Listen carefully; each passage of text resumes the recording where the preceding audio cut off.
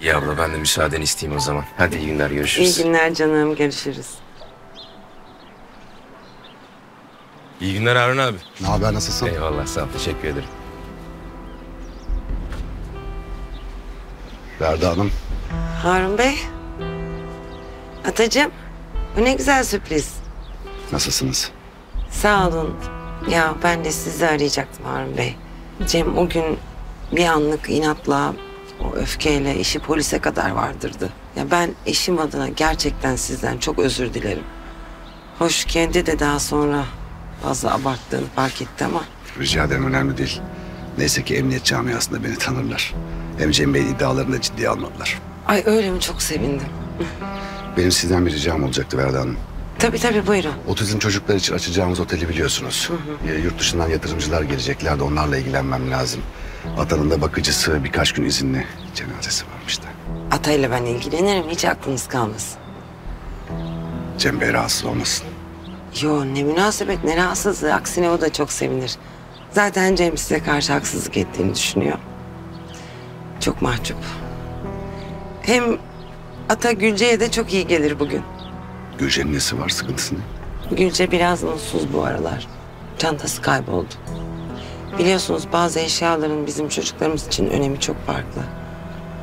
İşte okulda bir arkadaş da almış çantasını çöpe atmış galiba. Cem de çantanın peşine düştü bakalım. Bulabilirse sorunumuz kalmayacak.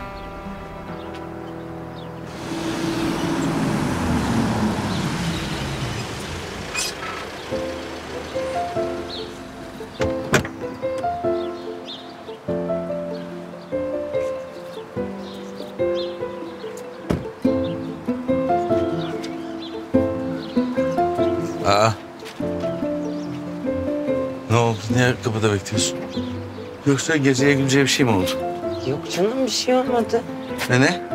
Ne var ya kocamın kapıda karşılayamaz mıyım? Karşılayabilirsin, karşılamalısın da. Adama sorarlar 20 yıldır aklın neredeydi diye. Ee, dökü bakalım. Ne oldu? Bir misafirimiz var. Ay, gece mi geldi? Daha küçük bir misafir bu. Yani hem yaş olarak hem ebat olarak. Sevimsiz babası nerede? Yok. e, ya bakıcısının bir akrabası ölmüş. O yüzden izin istemiş. Hı hı. E, Gülce'den bildiğimiz gibi yani atada öyle tanımadıklarıyla kalamıyor. Hı hı. Öyle yani. Hı. Anladım. O neyse şimdi hadi babası niye oturup kendi bakmamış çocuğuna? Cemciğim otizmli çocuklar için otel açıyor ya. Yurt dışından misafirleri varmış. Onları ağırlayacakmış. Ee, yani zaten o söylemedi ben teklif ettim. İçeri de girmedi. Öyle kapının önünde konuştuk. Girmesin zaten. Kalabilir değil mi? Ya o kalabilir tabii. Ne sandın sen beni? Ben canavar mıyım, gaddar mıyım? Çünkü babası ayrı, ata ayrı bir şey tabii. Zor tabii yani. Ço- çocuk için zor. Ay iyi kalpli kocam benim. Tamam hadi abartma. İğreti duruyor zaten üstünde. Bana bak. İnşallah o psikopatın tezgahlarından biri değildir. Her ne hikmetse yani bakıcının yakını da çocuk tam sana alışmışken vefat ediyor. Bak sen Allah'ın işine. Sustum tamam hadi. Yalnız bak bu durum ayrıca neye yaradı? Ne? Gel bir gel. Gel bak gel.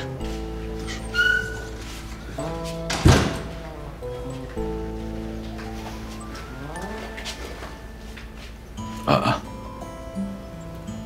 Gülce ki ya. Üstelik ben söylemedim. Ata resim yapmaya başlayınca geldi karşısına oturdu. Sonra yemeye başladı. Ama hala hiç konuşmuyor, iletişim kurmuyor yani aklında olsun. Çantasını getirince o da olacak. Atacığım hoş geldin. Sen de hoş geldin Rüzgar. Hoş bulduk, hoş bulduk. Ee, Atacığım Verda teyzen burada kalacağını söyledi. Çok sevindim. Gülce de sevmiştir herhalde değil mi kızım? O zaman akşam bu güzel ressamlara özel bir yemek hazırlamak gerek. He?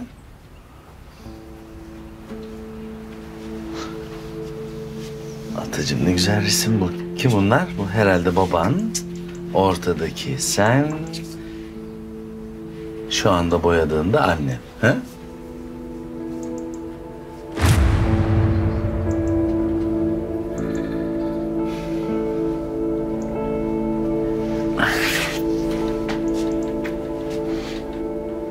Merdan. Gel gel. Ne oldu? Gel. İşte iyi niyetinin sonucu.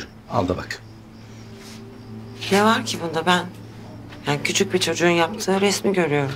Tamam o zaman resme bakalım. Bak burada mendebur Harun. Burada babası tarafından kullanılan garibim ata. Burada da kızıl saçlı anne figürü. Aa kim bu? Verda oldu. Ah. Hayır nereden çıkarıyorsun o kadının ben olduğunu? Çünkü çocuğa sordum seni gösterdi. Evet yani tuhaf tabii atanın beni annesi yerine koyması. Ama yani... Ama ne? Ama ne ya? Ama ne Verda? Görmüyor musun? Planın farkında değil misin ya? Anlamıyorum yani. O bakıcıyı cenaze bahanesiyle göndermesi de planın bir parçası. Sonra oğlanı senin yanına koyması da planın diğer parçası. Ne planı ya? Ne diyorsun Cem? Yahu oğluyla senin birbirinize daha da bağlanmanızı sağlayacak olan plan. Yani bak burada Atay'ı ayrı tutuyorum. Çocuğa bir şey demiyorum. Çünkü ne Atay'a ne de diğer özel çocuklara kıyamam ben. Ama adam psikopat. Klinik vakka adam ya. Cem, bu resmi ata yaptı, Harun Bey değil, tamam mı? Ve ben şu anda ne düşünüyorum biliyor musun? Aslında Harun Bey söylediği bir şeyde çok haklı.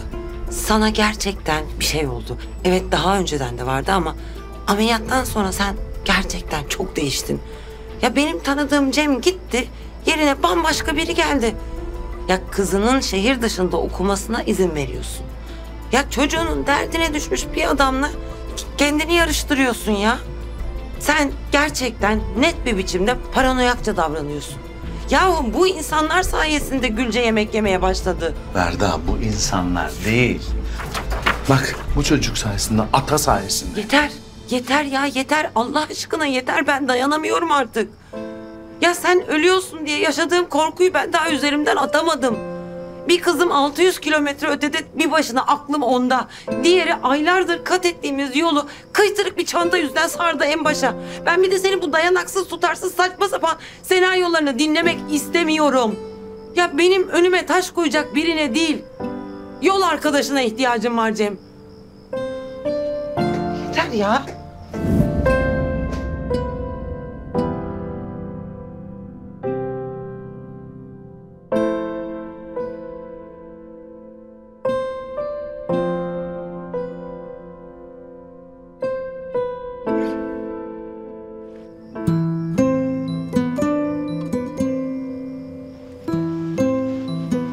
Cem amcan yaptığın resimden bahsetti bana. Sen beni annen olarak mı çizdin Ata?